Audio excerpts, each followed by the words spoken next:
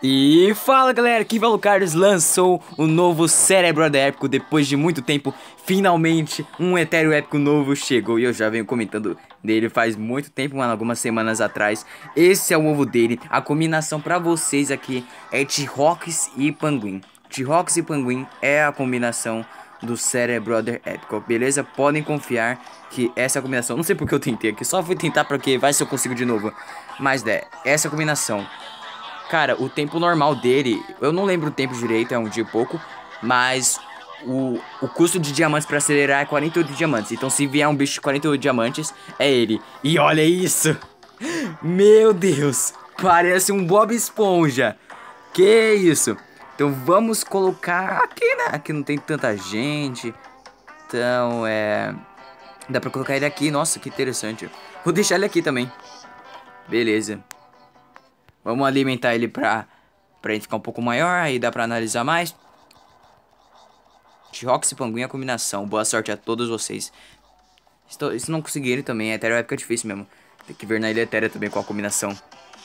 Aqui, mano, recuperei finalmente o Cerebro Brother que eu perdi pro Pikachu Rara. Tá aí, olha ele fazendo som. Ele tem muito mais canos atrás, velho. A armadura dele parece que é feita de pedras tem também essas energias aí em cima da cabeça dele. Será que isso aqui é uma referência, alguma coisa? Ah, from monsters. Mano, o corpo, o corpo dele me lembrou muito esponja. Olha os olhos dele, é quadrado, velho. Que da hora, mano. Deixa eu ver a biografia dele pra ver se eu entendo alguma coisa. Que eu não tô entendendo nada. Sky, qual o objetivo final da inteligência artificial? Se não para, a manjoca Max se misturar perfeitamente com o mundo das formas de vida orgânicas. Essa meta aspiracional elevada que Cerebroid Épicos, um grupo hiperinteligente de etéreos cranianos, estabeleceu para seus trajes mecânicos. Aproveitando os ensinamentos da Aurora do mundo dos monstros, que só recentemente reentraram na consciência cultural, seu plano era fazer a engenharia reversa da técnica e invertê-la para dar um ar mais orgânico aos seus corpos mecânicos. O experimento foi um sucesso? Sim e não, o que só fez a curiosidade científica desses etéreos épicos atingir novas alturas. Olha, o bicho tem uma história grande. Esse é o Cérebro Brother épico. Eu não sei o que, bem o que falar, mano. É. Eu, eu até que gostei.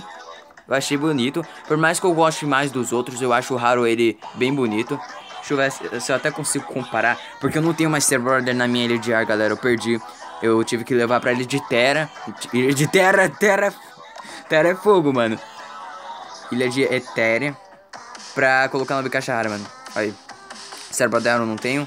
Esse é o cérebro normal. É, da hora. Ele teve bastante mudança, cara.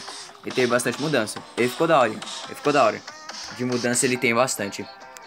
Tem um monte de detalhes também pra você ficar analisando. Eu acho que eu dou uma nota 7, 7. 7 é boa, mano.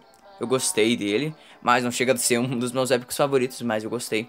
Finalmente, depois de muito tempo, um Etéreo épico novo, né? Desde fevereiro que a gente não tinha um Etéreo novo, um Etéreo épico novo. E é isso, galera. Esse é o novo Cerebrother épico. Boa sorte a todos vocês para conseguir. Eu vou indo nessa. Comenta aí o que vocês acharam dele. Não esqueça de deixar o like que fortalece demais. E é isso. Falou!